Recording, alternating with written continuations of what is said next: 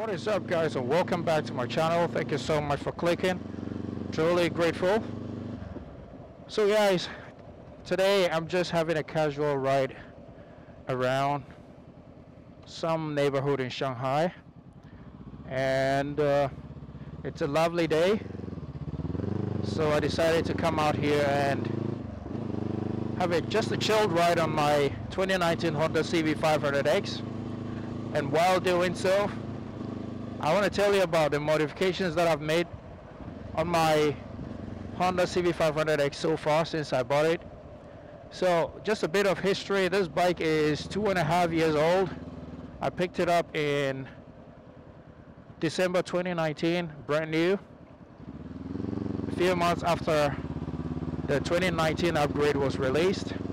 And I must say it's been two and a half years of pure joy but like with any other machine it isn't perfect. So when you pick it up from the showroom it leaves quite a bit to be desired. So you would have to go on and make some upgrades or add some uh, accessories to make it comfortable for yourself. Um, so I'm just going to talk about the modifications that I made on this bike so far. So the first thing I'll talk about is this windshield. So if you're a CB500X owner or you're intending to own one, um, let me just say that the original windshield that comes with the bike, if you are taller, is too short. So you might have to upgrade to a, a taller wind, windscreen just so wind buffeting can be uh, a bit more comfortable for you. Ever since I switched to the aftermarket windshield, I haven't had any problems with the wind buffeting. So yes, if you are uh, not too tall, I'm guessing it shouldn't be a problem, but if you're a tall person, I'm pretty sure you're going to be thinking of upgrading. So it is something to take note of. So the second thing I'd like to talk about is the headlights. I'm not sure about the 2022 newly released model. Quite a number of changes were made to that bike. But the 2019 version, at least for me, the headlights were not bright enough at night. So after dilly-dallying for a while, I had to bite the bullet and go in for aftermarket auxiliary lights and I must say that it's changed, changed the lighting situation on this bike. The original headlights at night didn't project lights bright enough for my vision. Maybe so, it's good for someone out there, but for me, it wasn't good enough. So I went with an upgrade. So that is something that you might want to look into. So illuminating the road and also making yourself visible from oncoming traffic is very, very important for safety. So it's an upgrade that you might want to think about if you're considering this bike. The next thing I'd like to talk about is handguards. So the bike comes without handguards. Honda has its own original handguards that you can uh, specify with your bike. But I think there are maybe better options out there. So I went for an aftermarket one, um, just a cheap one. I wasn't looking for anything too robust because I'm not thinking about serious off-roading. And what I have here is plastic and it works really good for me in deflecting the wind, especially in winter. So it is something that you might want to consider uh, getting aftermarket on the bike so it can deflect the wind. And if you're thinking of going uh, Adventure Pro, then you can get something more robust just so you, it can protect your hands from when you unfortunately hit something uh, so you don't hurt your hands. So yeah, it's um, it's a very necessary upgrade, I would say, both for the cold and for adventure riding.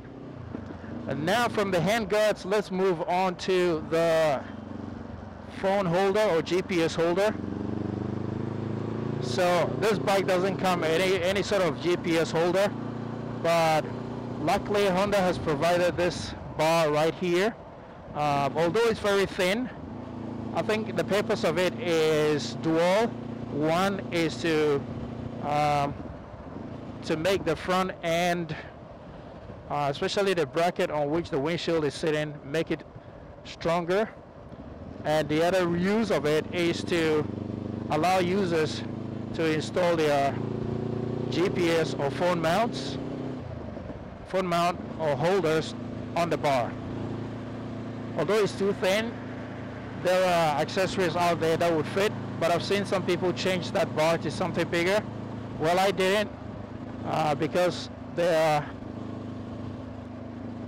the phone holder that I got, although it was bigger and needed a thicker bar to hold on to, I kind of added some rubber from some old tires before bolting on the the phone holder. So it's it's on there snug. And uh, this is definitely an upgrade that you want to have and I like it in that position because it's right in my, my line of sight so when I'm riding it's easy for me to glance at my GPS or my phone without necessarily taking my, my eye off the road. Um, this is good for safety as well. So this is something you might want to consider if you're considering the 2019 or CB500X in general.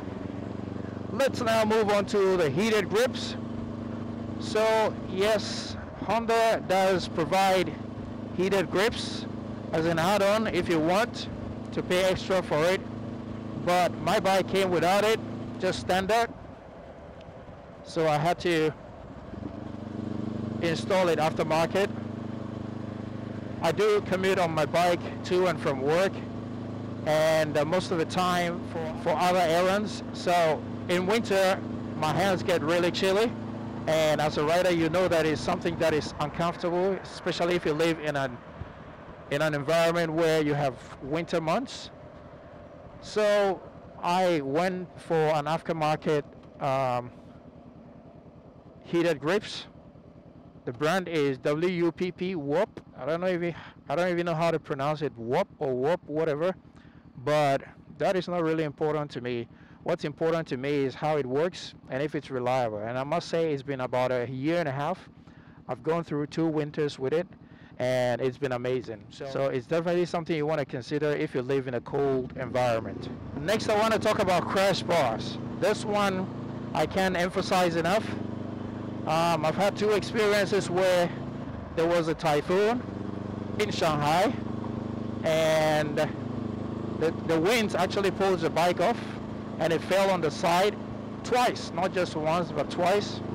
And both times I was lucky I had already installed the crash guards or safety guards as some people like to call them and this prevented a bike from this prevented any essential parts of the original bike from hitting the ground so protecting the fairing and the other parts of the bike so if you own this bike try as much as possible to get any any sort of crash bars for your bike there are many different brands out there many different configurations.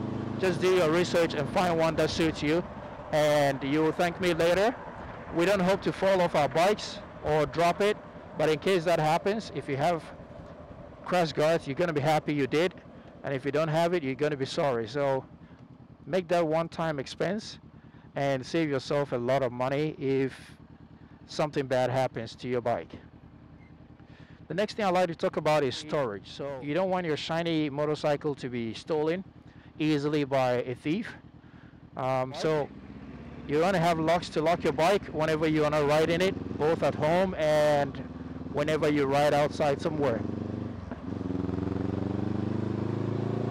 So I personally have four locks on this bike. So I have three disc locks plus the steering lock that comes with the bike so I lock my bike in four different places to make it really difficult for someone to steal it. Unless you lift it, I don't see how you're going to have time to break all those four locks. Unless you're really, really good at what you're doing as a thief. So you want to protect the bike. And uh, one problem that most bikers have is when you unlock your bike, where do you where do you keep the, the locks? Because they can be quite heavy. Dropping it in your bag is not funny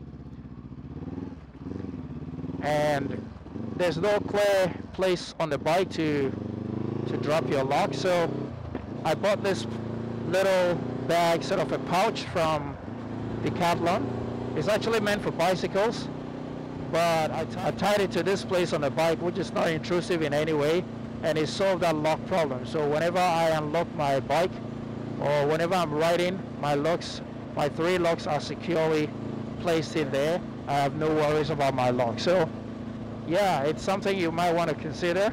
If you have an alternative way to keep your locks, that's that's great. But if you're looking for an if you're looking for a simple and cheap way to keep your locks, this is one that you can try. You don't now let me move on to storage, kind of luggage storage whilst you travel. Sometimes I have to carry my computer and other stuff on my way to work, and uh, it was putting and my backpack was putting a lot of weight on my back. So I was like, why don't I just invest in a, a rack and a top box? I don't really need panniers right now. So I went in for a rack set and then I got a SHAD SH39 size box for my bike just so I could be able to transport things a lot easier and without putting any strain on my back uh, and that will keep you stronger for a longer ride. I went for the SHAD because I wanted something lighter. This bike is not a bike that is set up for heavy load at the back and the SHAD was just perfect. The weight of the SHAD was just perfect.